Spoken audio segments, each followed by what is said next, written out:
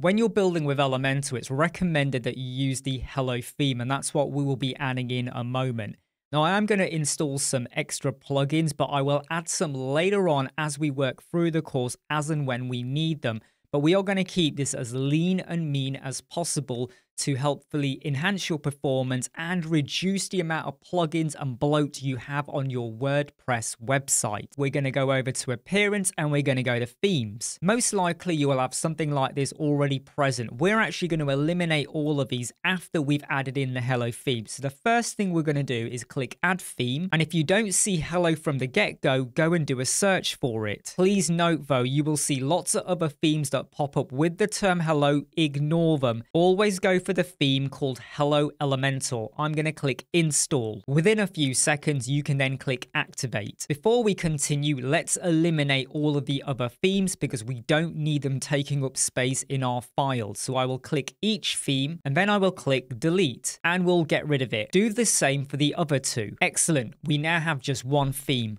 Now let's go and add in some plugins. On the left hand side of our dashboard, we're going to go to plugins. At the moment, I have no plugins installed. We're going to click add plugin and we will do a search for Elementor. There is no need for us to use any of the Elementor add-ons. Again, we're keeping this lean and mean with what we're going to be using throughout this course. Don't forget to click activate once it's installed. Now you will be taken to an interface which you can actually skip right now if you do want to go through a setup process, you can do. This is where it will ask you to go and create an Elementor account. My recommendation is that you just install Elementor free and then you go to elementor.com. Use the link in the video description. It is an affiliate link, but you could go directly to elementor.com and then go and get your Elementor Pro license. I recommend that you go for the advanced solo plan because in some places we may use some custom code if you do go for the essential plan, you can still add in custom code, but you will be missing out on some other features that we may use throughout the course.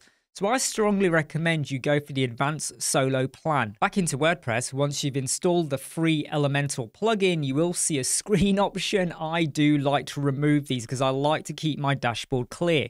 Let's go back over to plugins and click install plugins.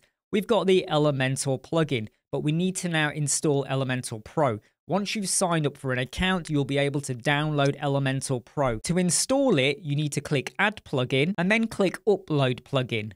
Then click Choose File, select the latest version that is available, and then click Install Now. Activate plugin when you're asked to. Final step is you must ensure that you have connected your license to Elementor Pro. So click connect and activate, sign into Elementor, and then click the button to connect and activate. It's that simple. For now, there is another plugin that I would like you to install. Go over to add plugin, type in code snippets and install the code snippets plugin that you can use for free. These are the three plugins that we're going to start off with. And later on, we will add some more when it's appropriate.